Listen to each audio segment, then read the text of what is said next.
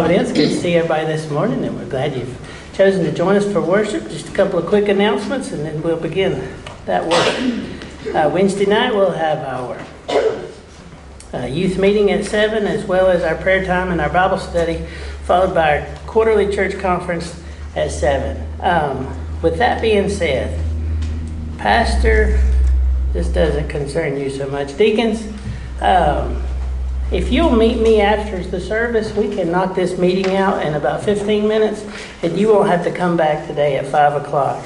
So, deacons, if you'll meet with me at the close of the service, we'll get this meeting out of the way, and you can have your afternoon off. Um, and then, building fund, there's a note there about the building fund, special announcement about the cookbook committee. And with that being said, Miss Linda Smith.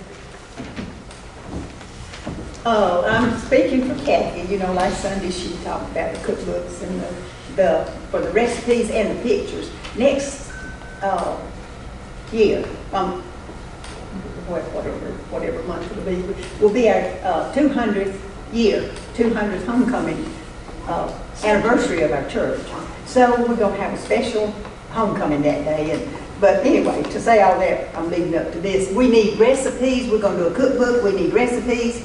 We need uh, pictures. If you have any old pictures of our grandparents, years gone by, or buildings, or, or uh, folks that were here at this church, if you have recipes, old recipes from our grandparents, great-grandparents, our mothers.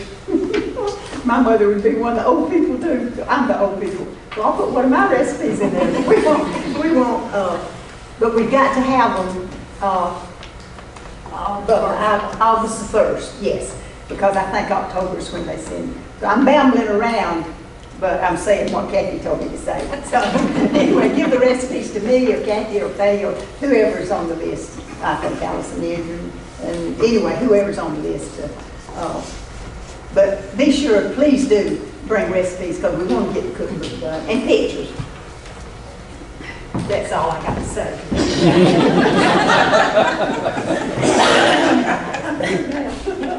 Thank you, Miss Linda. Uh, So once again, there's a list of names there at the bottom of the page. If you have a recipe, pictures, anything you'd like to put in that cookbook, see any of those ladies there at the bottom. On the back of your bulletin, you got our church contact information. And with that being said, it is good to see Miss Linda in the choir. Miss Linda, we're glad you're feeling good and back in service. And uh, Pastor, we're glad to see you also, sir. Is there any other announcements I may have missed? If not, let's pray and we'll begin our service. Father, we do thank you for a wonderful morning. We thank you for everything that you've graced us with. And Father, we thank you that by your grace we have, uh, we have the ability to sing these praises from our heart uh, because what a wonderful salvation you have given us. Now, Father, we just pray for the rest of our service. Pray for our hearts to be in line. And we pray most importantly that as your word goes forth, that our hearts are ready to receive that word. Our minds are cleared and we're ready to worship and to hear what your word speaks to us. We thank you and we praise you. Amen.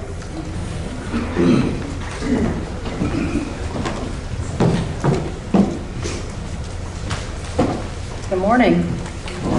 Everybody will get a hymnal and stand. Turn to page 333, Leaning on the Everlasting Arms.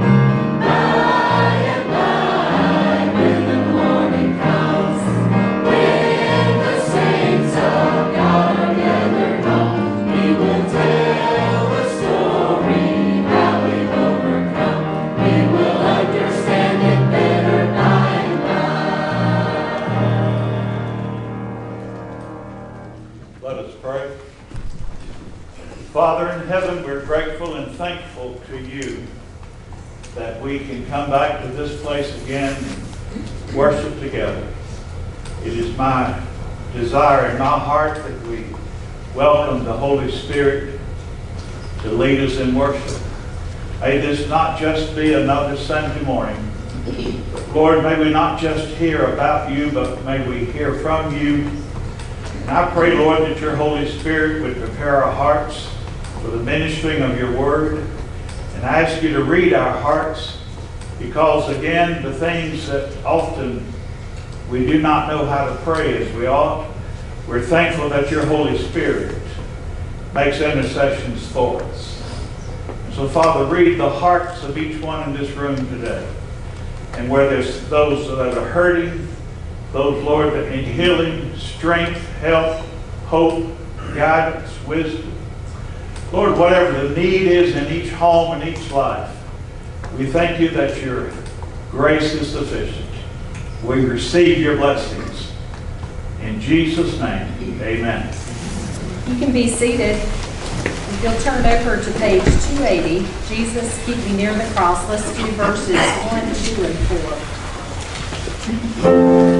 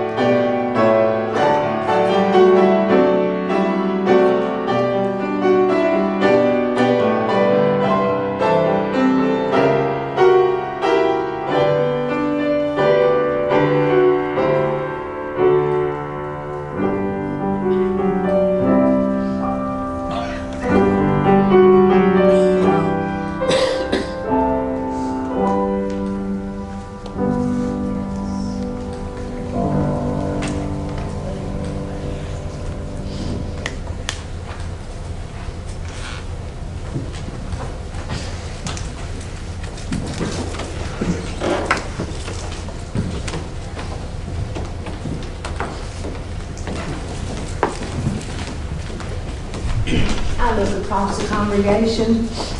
And all I want to just tell you is I love you, and God's in miracle making business. And He is so faithful 24 hours a day, seven days a week. I love y'all. And thank you for praying for me and keep praying.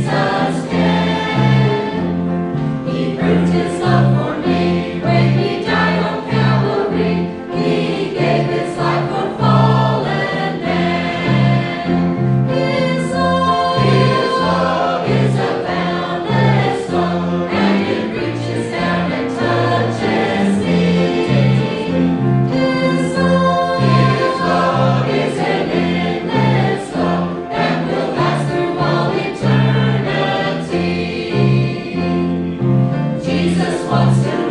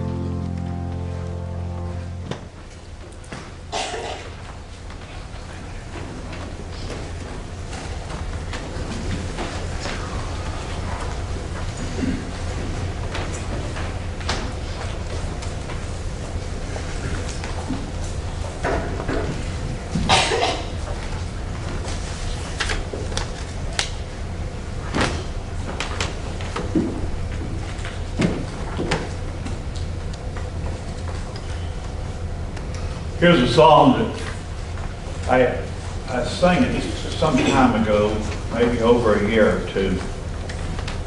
It's called The Only Real Peace That I Have, Dear Lord, is in You. And I sang it with CD and uh, can't find the, the CD. So I'm going to try to play it on the piano.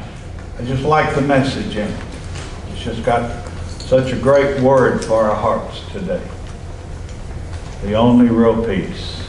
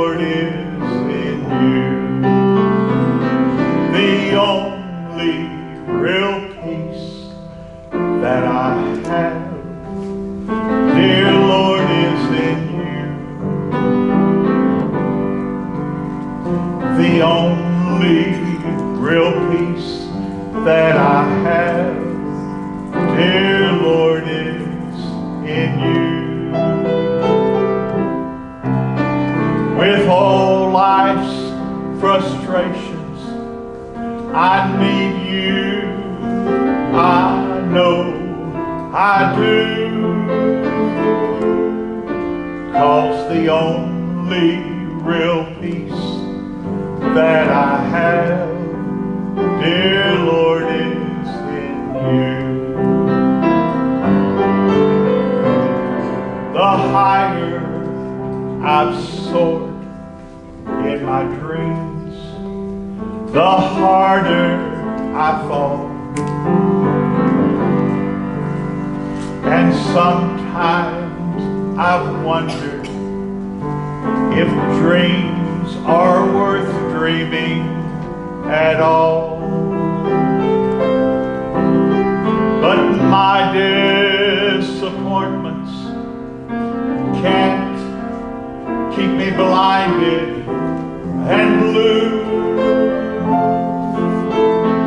Not when I'm reminded of the sweet peace I have, Lord, you.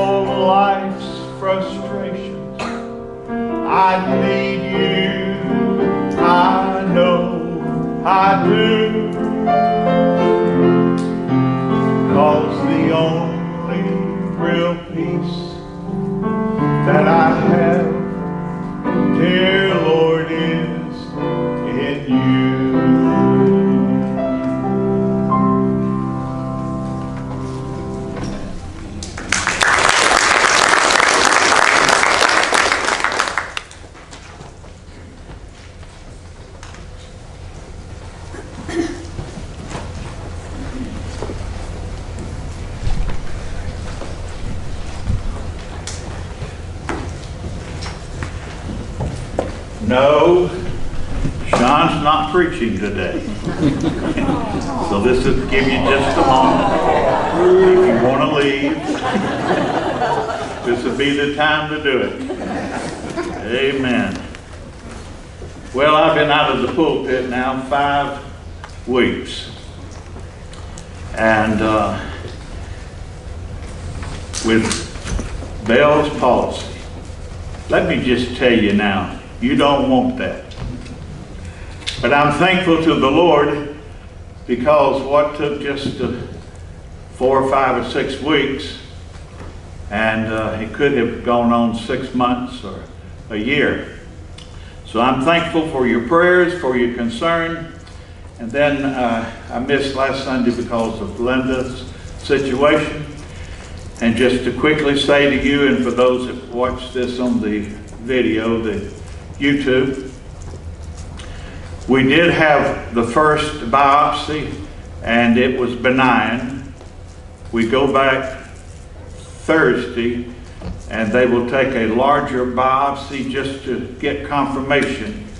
And uh, we pray that they'll find again that it's benign. But then the surgeon, the mass, the hernia, this has to come out and the esophagus has to be uh, prepared, uh, repaired. And so we thank you for, for your prayers for that. The hymns that we sing uh, today,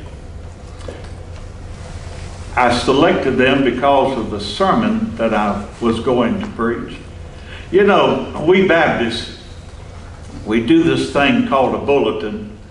I told you when I pastored Mark's Baptist Church in Augusta, I finally, right above the order of service, I would put order of service subject to change by the Holy Spirit. And then I did a series of messages on who the Holy Spirit was so they would understand. And uh, so today's hymns and songs, when I do preach that sermon, I'll remind you what they are.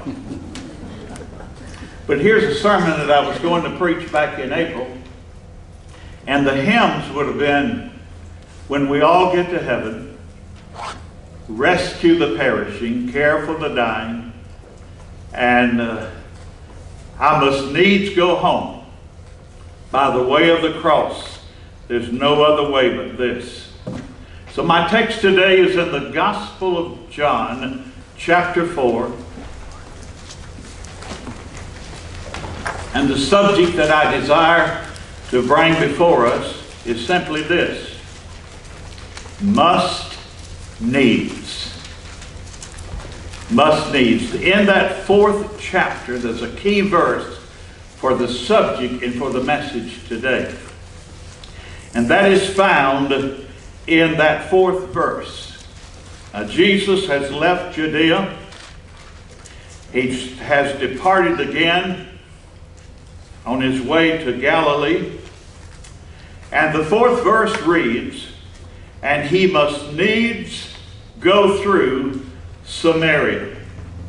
And so, with that thought in mind of must needs, the first thing I want to say that uh, I'm not going to wrestle with doctrine in this service. In fact, for the most part, we take care of doctrine on Wednesday night in our Bible studies. But I'm going to, on the foundation of 2 Timothy 3.16, that the scripture is profitable for us, I'm going to give us application for ministry concerning salvation. I do not make light of doctrine. I think the fourth chapter of John is an awesome chapter with some great teaching and some great doctrines to bring before the church. Yet, I want to remind us of something, and that is that doctrine without application, what profit is it? What value is there in studying doctrine if there's not a application of ministry and especially when we talk about salvation. And so when I read these words in that fourth verse, must needs, What Jesus does in this text carries with it the must needs, the necessity, the intensification of ministry that Jesus is doing, especially to this Samaritan woman uh, at the well. You're familiar with this. And uh, even though Jesus said to his disciples, back there in the Gospel of Matthew, he sent the twelve forth and commanded them, saying, Go not in the way of the Gentiles and into any city of the Samaritans. Enter ye not, but go rather to the lost sheep of the house of Israel. And those are powerful words. Jesus went on and said it like this in the 15th chapter of Matthew and the 24th verse. He said, I am not sent but to the lost sheep of the house of Israel. And when I think about what Jesus said about his earthly ministry and what he said about the disciples, then I understand the eighth verse why he sent the disciples to go buy groceries. Because he did not want to wrestle with them over the doctrine that he has presented to them in Matthew chapter 10 and the teaching that he sent them. And so, with them gone, the Lord, in a sovereign, a, a divine, and absolute, holy, and purposeful ministry, the words that he speaks and the acts that are performed in Luke chapter 4 are astounding to me. But what they do, they give to me a message that is throughout the Word of God. And that message is all the way back to Genesis when Adam and Eve have sinned. And you remember that when they had rebelled against God, and now they've lost their, their fellowship, they've lost their relationship with the God. And when he, God would come down in the cool of the day and they could worship Him and, and fellowship with Him and talk with Him. And uh, yet, this is all lost. But God shows us the overriding, the heartbeat of the Word of God for all dispensations. And that is that God loves sinners. And so, purposeful. He comes here in the fourth chapter with the same message of the Word of God in John 3.16 that God so loved the world that he gave his only begotten Son, that whosoever believeth in him should not perish but have everlasting life. A message that is purposeful throughout the Word of God. In Luke chapter 15, in verses 1 and 2, when the Pharisees murmured, saying, This man receiveth publicans and sinners and eats with them. And what about when he came to the, uh, to the base of the sycamore tree and he looked up and he said to Zacchaeus, Come down, for today I must abide at thy house. The overriding, the heartbeat of the Word of God is also Luke chapter 19, verse 10 For the Son of Man is come to seek and to save that which was lost. And that's what he came to do. I was doing a lot of revivals back in the 70s and 80s, and, and uh, at that season in my ministry, I had gone uh, one year 42 weeks straight in revival meetings. And I know what you're thinking. How can a pastor be out of the pulpit that much? Well, I had 13 deacons and 12 of them was excited about it because they had been called to preach and all of them went later, years later, and became pastors themselves. But they gave them an opportunity to preach on Sunday morning and I would start meetings on Sunday night. But in 1980, the latter part of 84 and 85, I was in a, a, a tent revival meeting in Indiana. I went to Dayton, Ohio for a revival meeting. And I went to Eaton, Ohio, and then I went up north to Lima, Ohio And the pastor of that church, I'll, I'll never forget what an awesome voice he had. And he introduced me to a, a great song back in those days. It said, When I could not go to where he was, he came to me. And that's the message of the Word of God. That's the picture. Uh, it was a picture there in Genesis with Adam. When, when Eve sinned, Adam had a picture, a type, typology of God, that when Eve could not come back to where Adam was, Adam went to where Eve was. But thank God because what Adam could not do for Eve, God could do for Adam. And so when God came down in the cool of the day and he said, Adam, where art thou? Here was a holy God in a sovereign act, man, unmerited favor of his grace, that came to Adam and Eve seeking them because they were out of touch with God. And more so than that, when I remind us of that message of John 3.16, that when I could not go to where he was, Jesus came to this earth, suffered and bled and died for my atonement, for my for my the need of my salvation. I thank God for what Jesus has done. And why did he do it? Because he loves sinners. We see that text throughout the Word of God in Luke chapter 15 when there was a lost uh, sheep. There, uh, there was a shepherd that went to find that lost sheep.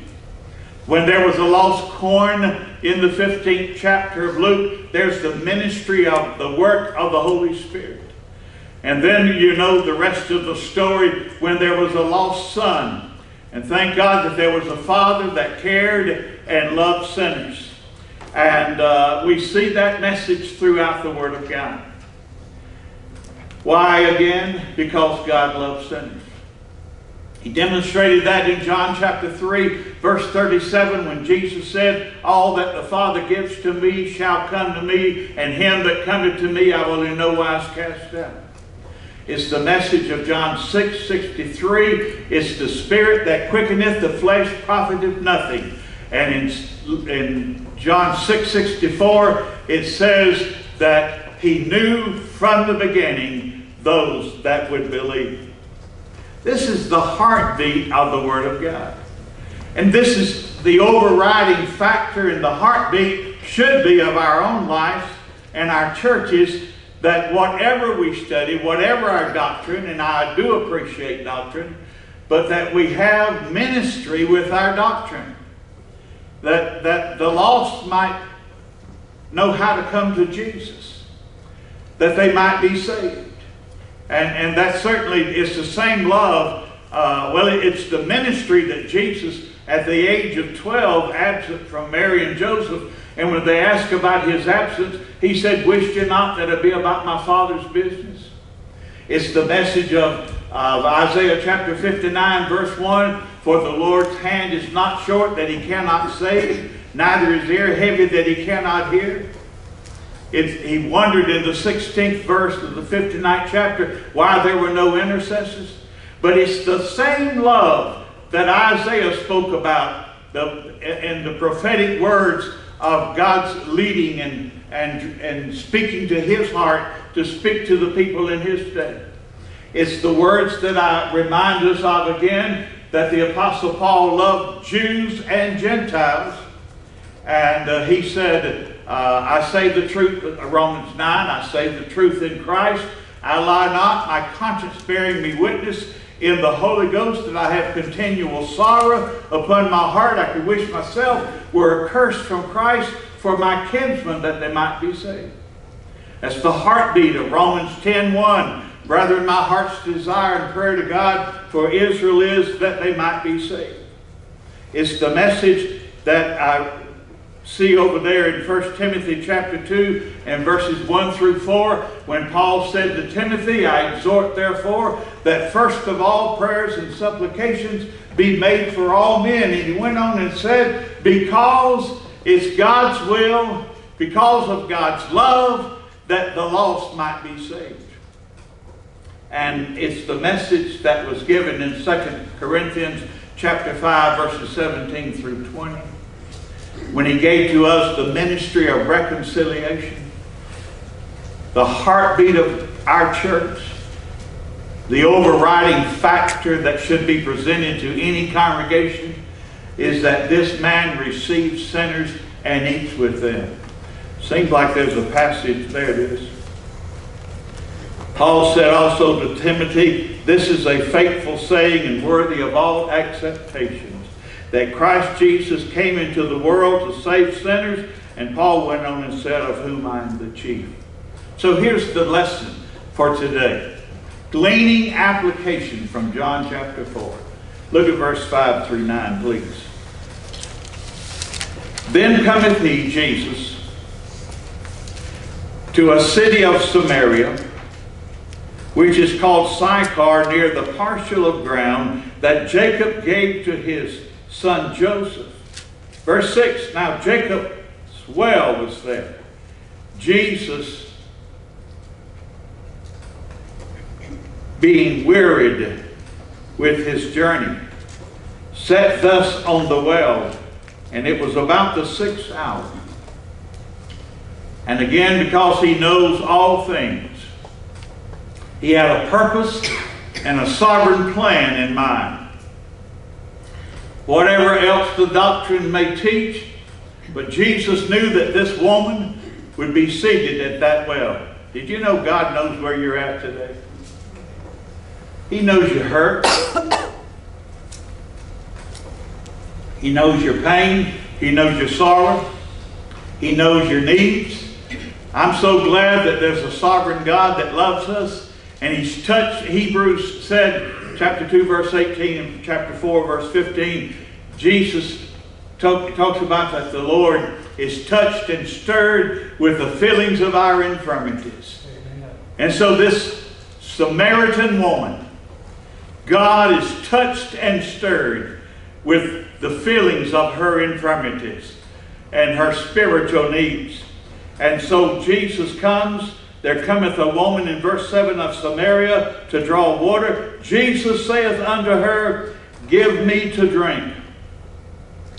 And uh, for his disciples, again, had gone to buy supper, had gone away into the city of, uh, to buy meat. Then saith the woman of Samaria unto him, How is it that thou, being a Jew, askest drink of me, which am a woman of Samaria? For the Jews have no dealings with the Samaritans. She is awakened, she is stirred with questions. That's the power of God's Word. As Jesus began to speak to her, and those words began to enter deep into her understanding and into her heart, and uh, Jesus, and by the way, there's something sacred, there's something holy there's something divine. There's something spiritual happening here in John chapter 4. That's what happened to Zacchaeus. I said a few moments ago when Jesus went to the base of the tree and looked up and said, Zacchaeus, come down, for the day I must abide at thy house. Why? Because the 19th chapter says that Zacchaeus and he sought Jesus to know who he was. God knowing all things and the sovereignty of his words and his acts and his works was stirring the heart of Zacchaeus. And Zacchaeus had some questions. God's words here at the Jacob's well stirred the heart of this Samaritan woman, and she is stirred with questions. That's a, that's a Romans 10 17 in operation. Faith comes by hearing, hearing by the Word of God. And uh, that operation is taking place with this Samaritan woman. And she is awakened. Would we just in your heart, would you just pray that? Would you just say, Lord, I, I prayed a few moments ago and I said, I pray that this not just be another Sunday service. But wouldn't it be wonderful if we prayed this past week and prayed last night, prayed on the way to church, prayed while we were singing the hymns of the faith, prayed while we gathered together in this house that there would be an awakening, there would be a stirring, and like this woman at the well, that it would affect her. And like Zacchaeus, he's out there collecting uh, taxes, and no doubt he's hearing about the, the lame to walk, the blind to see, someone healing all manner of sicknesses and diseases, and he's awakened with questions. Oh, if just one soul in the house today would, if you don't know Christ as your Savior, and I pray that you do, but if just one would not leave these grounds without first saying, I've been stirred by the Word of God, I've been stirred with a prayer, or with a song, or, or with a hymn of the faith, or with a text from the Scriptures, or something that was preached or taught in Sunday school, if we could have that same stirring, that's the overriding factor and should be the heartbeat of our church, of all churches. That we would be stirred with such love that we would go with the love of, of Romans chapter 5, verse 8. It says, God commanded his love toward us, and that while we were yet sinners, Christ died for us. What if we could just go with God's love? God's love shed abroad in our hearts. I'll tell you this, church, and I say this and try to say this in love. We'll never have a love in our heart for a lost soul. We'll never desire to go to Jacob's well and talk to a Samaritan woman. We'll never have a desire to speak to a Zacchaeus. We'll never have a desire to tell the old, old story of Jesus to a lost person if we don't first go with his love. And if we go with his love, it's because we have practiced it loving God's people. Uh, I won't quote it, but Ephesians chapter 4, verse 29 through chapter 5, verse 2 talks about God's people loving one another.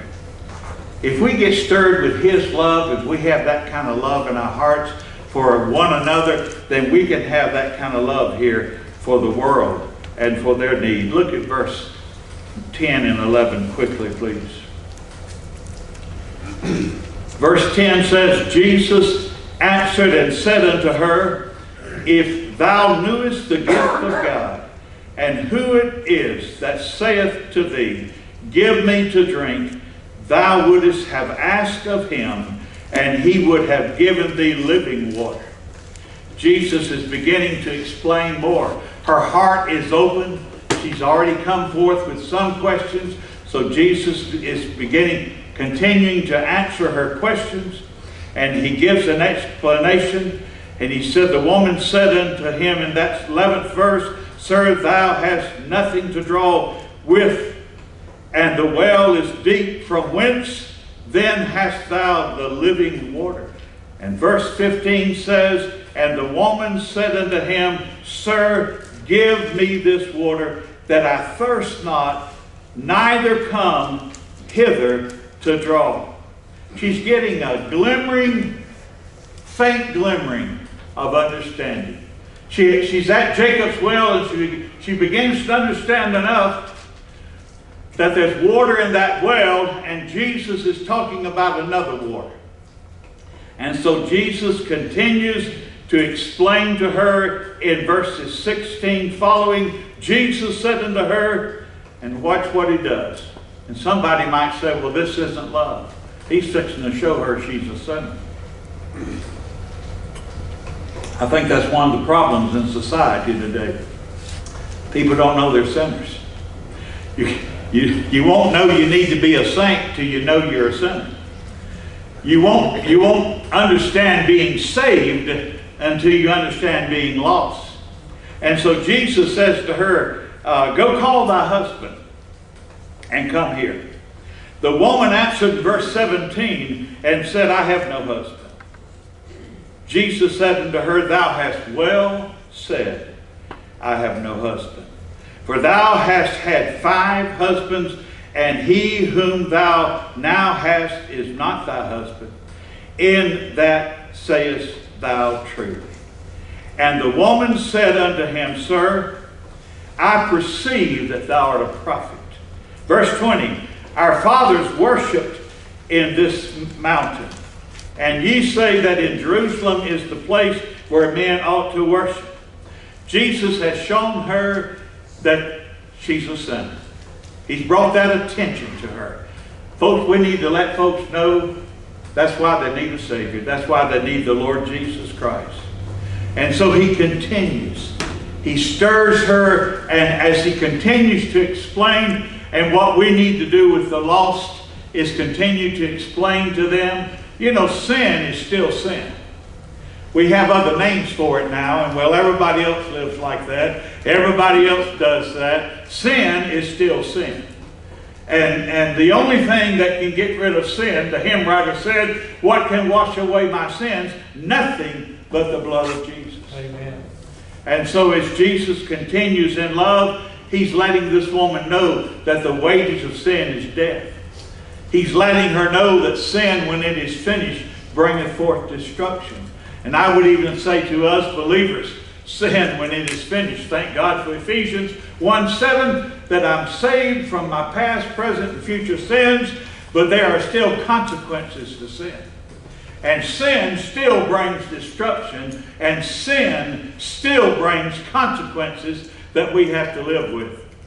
And so Jesus continues with the word of love. Look at verse 21.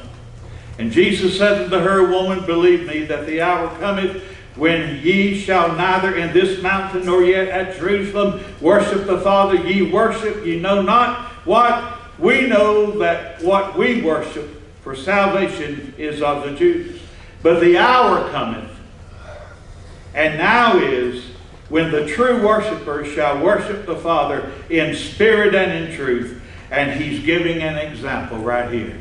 He steps out of uh, dispensational, he moves out of those, those doctrinal lessons that are necessary and understanding, but he steps into a place to show an example of what he is saying to her that yes, the hour is coming that all who have sinned and come short of the glory of God can find a Savior in the Lord Jesus Christ.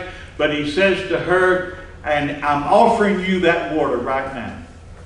And that is, again, sovereign, holy, divine, purposeful. Never put God in a box. Never put God in a box about anything. There are certain reasons, and we have to study deeply into God's Word to understand. But the main thing is that He shows us that in the midst of all of this, there ought to be ministry. And uh, so he begins there in that 28th verse, and he says, The woman then left her water pots and went her way. He's opened the door in verses 21 through 24, and she believes. And now in verses 28 and 29, come see a man which told me all things that ever I did. And then they went out of the city and came unto him in verse number 30 and down in verse number 39 the scripture says and many not just this woman at the well but he did a sovereign act of showing grace and love and it says in verse 39 and many of the samaritans of that city believed on him and she's not ashamed when you, when you really believe on the Lord Jesus Christ, you're not going to be ashamed to confess Him and share Him and give testimony of Him. You're going to desire to talk about Jesus. And that's what they do, he did here. And then in the closing verses, in verses 40 and 41, I love that thought, where sin doth abound, God's grace does so much more abound. God starts opening up with grace in John chapter 4, and it did so much more abound. It was not just for the woman at the well, but there were many others. And verse number 40 says, And when the Samaritans were come unto him, they besought him that he would tarry with them. And he abode there two days, and many more Samaritans believed because of his own words. Amen. What an awesome message of God showing us that He loves sinners. So that brings us to the invitation. And here's the invitation right now, right where you see it. He offers to you that same love of John 3.16 that he so loved the world with. And he offers to us the, the message of Ephesians chapter 2, for by grace, the same grace that was working in John chapter 4. Actually, the same grace. Now, I'm not talking about uh, the doctrinal message of that, that we talk about and discuss about grace. But I'm telling you that grace, love, and mercy was seen in Genesis, and it's prophesied in Isaiah, and it's manifested throughout the Gospels. And uh, Jews and Gentiles can be saved. Gentiles and Samaritans can be saved. And uh, he says in Ephesians there, chapter 2, verse 8, For by grace, that grace, are you saved through faith, and that not of yourself, it's a gift of God, not of works, lest any man should boast. That's the message for the hour. Now is the day of salvation, Paul said to the Corinthian church. And if we if we believe and trust, as Ephesians chapter 1 says, we hear it, we trust it, we believe it, we're sealed by the Holy Spirit, and then we are empowered because when 1 Corinthians 12, 13 takes place by one Spirit, are we all baptized into one body and been made to drink. And as we drink of the same living, holy water that Jesus is talking about in John chapter 4, it equips us. Because John chapter 7 talks about it being the Holy Spirit. And it equips us, just like it said about the early uh, church, uh, but ye shall receive power after that the Holy Ghost is come upon you, and ye shall be witnesses. Well, when I'm planted in the body of Christ, and I believe grace and faith along in his death, burial, and resurrection of 1 Corinthians 15, then as I begin to get living water flowing out of my innermost being, because he made his abode in us, then we begin to witness. And so, right where you're seated, in a few, I want you to listen. We're going to bow our heads in prayer and make ready. Let's just go ahead and do that. Stand and bow your heads in prayer. And I want to encourage you today to call upon the Lord. Romans 4 5, it's faith alone. But if you want to leave here with the only real peace that we have in our heart, it's in Jesus. Won't you, won't you speak to the Lord right now? Lord, Lord Jesus, just, just tell him, I believe. I believe the message of your word, of your death, your burial, and your resurrection. I welcome you into my heart, into my life. Lord, help me to live for, for your honor and for your glory. Help me to realize today that I must needs go home by the way of the cross. There's no other way but this. And we know it's the cross work of your death, burial, and resurrection. And I thank you, Lord, for salvation to my soul. In Jesus' name, amen. This hymn that we sing, I'll be standing down front. I can pray with you, show you a verse of Scripture, or before you leave these grounds, I'll be glad to meet with you in a private room and discuss the Scriptures together, and let's talk about the ministry of salvation as we sing. Page 308.